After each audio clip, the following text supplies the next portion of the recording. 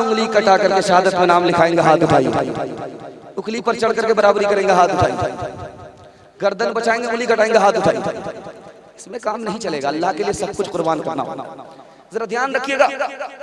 सीरत के हवाले से यहाँ आपके जलसे को मैं मुकम्मल करने के लिए जा रहा हूँ। आपने जितना अच्छा सुना, इतना अच्छा सुना नहीं जाता। आपने जलसे की भी हिफाजत की और मेहमान की मेजबानी का हक भी आपने अदा कर। दिया दिल से दुआ देता हूँ अल्लाह दीन दुनिया दोनों की भलाई से आपको माला माल फरमाए। सुनने के लिए यहाँ से लेकर के वहाँ तक तैयार हैं। हाथ उठाइए इंशाल्लाह। बीवी से पूछ करके दाढ़ी रखेंगे हाथ उठाइए इंशाल्लाह। जरा ध्यान रखिएगा आपका इम्तिहान जारी रहेगा। आप बेफिक्र मत रहिएगा। बहुत खूबसूरत बहुत प्यारा मुताला आपकी खिदमत में लेकर के आ रहा हूँ। इसको ध्यान से सुनिएगा। नबी की मजलिस से जिबरील आए कहा मुझे तीन चीज़ें पसंद है। नबी के कान खड़े हो गए। जिबरील ने अपनी पसंद सुनाने के बाद कहा खुदा को तीन चीज़ें पसंद हैं। खुदा के बंदों के कान खड़े हो गए। बारी बारी से उमर भी खड़े हुए उस्मान भी खड़े हुए। अली खड़े हुए अबू बकर खड़े हुए कि मुझे भी तीन चीज़ें पसंद है। आप लोग सुनने के लिए तैयार हैं? इंशाल्लाह। सुना देते हैं जरा ध्यान से सुनिएगा। जिबरील आए अल्लाह के रसूल से कहा मुझे तीन चीज़ें पसंद है। अल्लाह के रसूल के कान खड़े हुए। जिबरील ने बताया कि गरीबों से मोहब्बत करना। गरीबों की मदद करना, भटके हुए को रास्ता बताना, ये मुझे पसंद है। अल्लाह के रसूल ने सुबहान अल्लाह कहा। मुबारकबादी दी उसके बाद खुदा की पसंद बताया जबरील ने। खुदा को तीन चीज़ें पसंद है। बंदों का फक बंदों का फाका, बंदों का सब्र, बंदों की कुर्बानी। अल्लाह को तीन चीज़ें पसंद है। अल्लाह के रसूल ने रसूल सुबहान अल्लाह कहा, हज़रत उमर खड़े हुए, या रसूल अल्लाह मुझे तीन चीज़ें पसंद है। या रसूल अल्लाह मुझे तीन चीज़ें पसंद है, इस वक्त आपसे बढ़कर के ज़्यादा खूबसूरत कोई नहीं है। मैं आपको देख रहा हूँ, आप हमारी तरफ़ ध्यान दीजिए। वरना मुताला सर से पास हो जाएगा, इल्म जाय हो जाएगा। ध्यान इधर रखिए। आप सुनने के लिए बैठे हैं, आप हमारे बेहतरीन मेहमान हैं, मेजबान हैं। मेजबानी का हक अदा करने के लिए आप लोग बैठे जरा ध्यान से सुनिएगा। हज़रत उमर खड़े हुए, या रसूल अल्लाह मुझे तीन चीज़ें पसंद है। दूसरे को नेक काम करने का हुक्म देता हूँ ये मुझे पसंद है। दूसरे को गुनाह छोड़ने की ताकीद करता हूँ ये मुझे पसंद है। फटा पुराना कपड़ा पहन लेता हूँ पैबंद लगा करके। ये मुझे पसंद है अल्लाह के रसूल ने सुबहान अल्लाह कहा। दुआ दी वो बैठे हज़रत उस्मान को जोश आया वो खड़े हुए। या रसूल अल्लाह मुझे तीन चीज़ें पसंद है। कुरान की तिलावत करता हूँ मुझे पसंद है। भूखों को खाना खिलाता हूँ मुझे पसंद है नंगों को कपड़ा पहनाता हूँ। मुझे पसंद है। अल्लाह के रसूल ने मुबारकबादी दी वो बैठे हज़रत अली को जोश आया वो खड़े हुए या रसूल अल्लाह मुझे तीन चीज़ें पसंद है। गर्मी का रोजा रखना, मुझे पसंद है। मेहमान की मेहमान नवाजी करना, मुझे पसंद है। दुश्मन से मुकाबला करना, अल्लाह के लिए अपनी जान देना, दूसरे की जान लेना, ये मुझे पसंद है। अल्लाह के रसूल ने दुआ दी, वो बैठे। अब हज़रत अबू बकर खड़े हुए। या रसूल अल्लाह मुझे तीन चीज़ें पसंद है। सब लोगों के कान खड़े हुए अबू बकर को क्या पसंद है? हज़रत अबू बकर ने कहा कि या रसूल अल्लाह मुझे तीन चीज़ें पसंद है। आपके ऊपर माल खर्च करता हूँ, मुझे ये पसंद है। आपका चेहरा देख करके मुझको तसल्ली होती है, मुझको पसंद है। और मेरी बेटी आपके निकाह में है, मुझे पसंद है।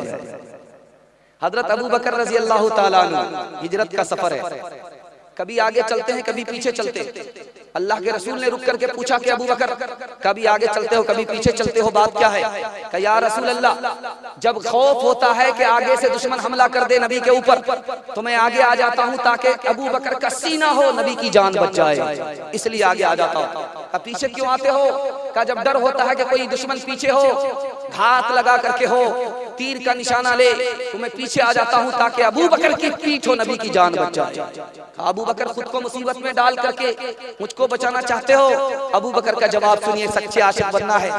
केक काट करके रबी अव्वल में नबी को याद करेंगे, हाथ उठाइए। ये देखिए।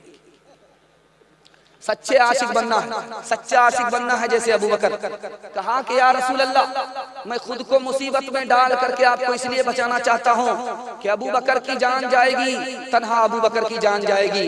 अगर आपको कुछ हो गया तो पूरी मिल्लत का नुकसान हो जाएगा। रिसालत की राहों में मासूम साथी, मोहम्मद का अरमान सिद्दीक अकबर। मोहम्मद तो सुल्तान है अंबिया के, सहाबा के सुल्तान सिद्दीक अकबर। सबसे है बरतर, सबसे है बरतर, नबी से है कमतर। नारे तकबीर अल्लाह अकबर। रसूलुल्लाह को दुनिया ने माना। जबानों पे अब तक है ये फसाना। नहीं इस्लाम से खाली जमाना। सुनो अकबर का ये कौमी तराना। शाफे बशर दो आलम के सरवर। नारे तकबीर अल्लाह अकबर। सुनिएगा। तेज़ी के साथ आपको सुनाने के लिए जा रहा हूँ। सोने के चार तरीके हैं। एक तरीका ही सुन्नत के मुताबिक है, तीन तरीका सुन्नत के खिलाफ है। वो खिलाफ है ये सुन्नत के मुताबिक है। इसको ध्यान से सुनिएगा अल्लाह के इल्म में इजाफा फरमाए। चार तरीके से आदमी सोता है। चित लेटता है ये सुन्नत के खिलाफ है। हारने वाले की हालत है। अखाड़े में जब दो पहलवान लड़ते हैं जो चार चित हो गया वो हार जाता है। नबी ने अपने उम्मती के लिए हारने वाले की हालत को पसंद नहीं किया। सुन्नत के खिलाफ है। दूसरा तरीका सोने का है आदमी पेट के बल सो रहा है।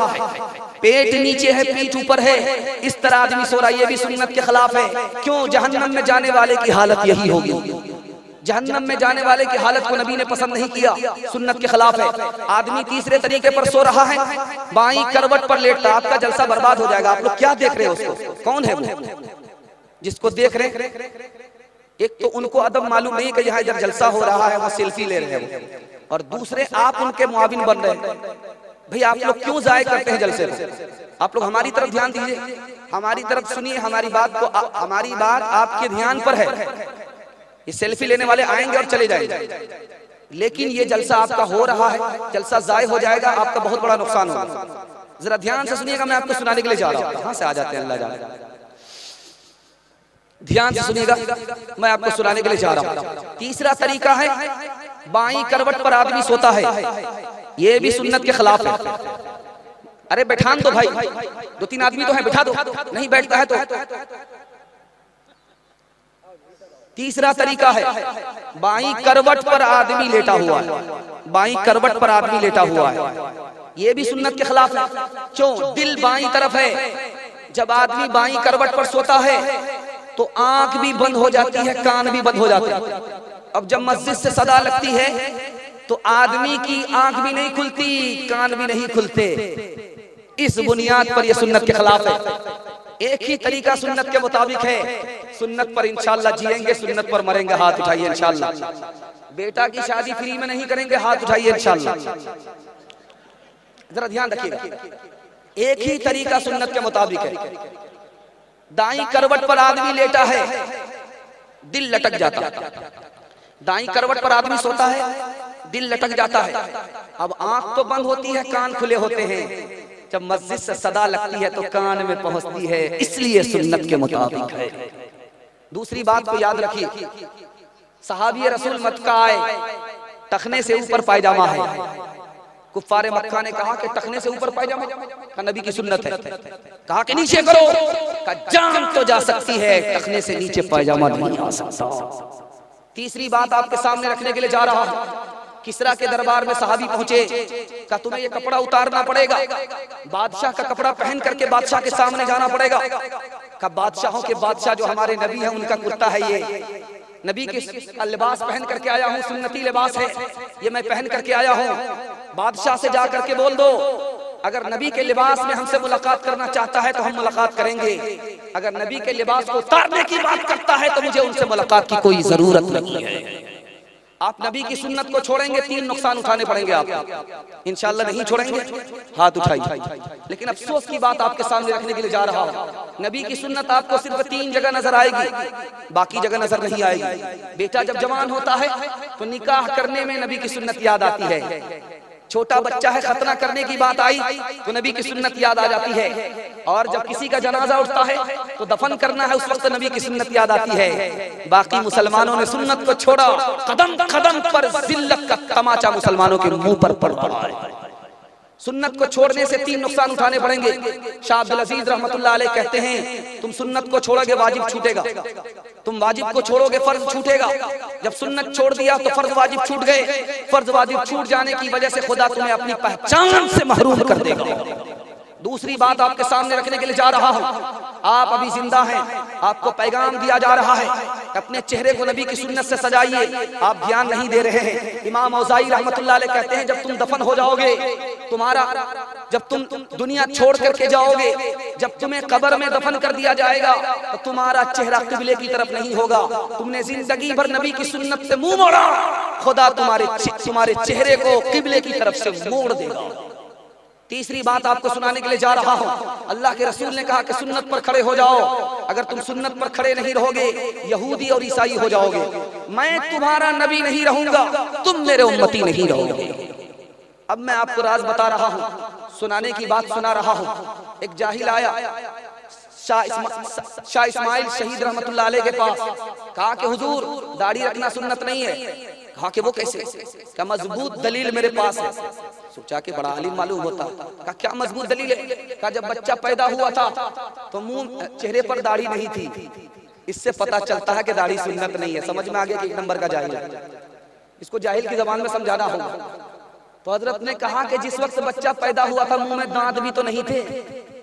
तोड़ ताड़ करके पोपला बन जाए दूसरी मिसाल आपके सामने रखने के लिए जा रहा शायर है, शेर पड़ रहा, दाढ़ी नहीं रखता। उसका मद्दा चाहने वाला आ गया। कहा कि दाढ़ी बना रहे हो, नबी की शान में नाथ पढ़ते हो। कहा कि किसी का दिल नहीं तोड़ता दाढ़ी ही बनाता हूँ, किसी का दिल नहीं तोड़ता। तो कहने वाले ने कहा कि नबी का दिल टूट रहा तुम्हें पता नहीं, हाथ चूम लिया कि आज के बाद कभी दाढ़ी नहीं बनाओ तीसरी मिसाल आपके सामने रखने के लिए जा रहा हूँ, खत्म करता हूँ। शादी हो रही है, आज से सौ पचास साल पुराना जमाना है। मोबाइल का दौर नहीं है, लड़की ने लड़का को देखा नहीं है। लड़का आलिम है, दाढ़ी वाला है। और निकाह पढ़ाने वाले उस्ताद हैं, शेख अहमद अली लाहौरी। लड़की निकाह की मजलिस में बैठ करके जैसे ही लड़के को देखा, खड़ी होकर के कहती है, मुझे दाढ़ी वाला लड़का पसंद नहीं है। अब सारे लोगों का मारे शर्म के सर झुक गया। हज़रत भी मुराकबे में चले गए सर उठा करके कहा कि इस लड़की ने ऐसा क्यों कहा? मैं राज बता रहा हूँ। इसके बाप ने इसको हराम कमा करके खिलाया। इसके पेट में हराम है। इसलिए सब कुछ कबूल है नबी की सुन्नत कबूल नहीं है। माशाल्लाह। लुकमा तो बहुत बढ़िया मिल रहा। खैर।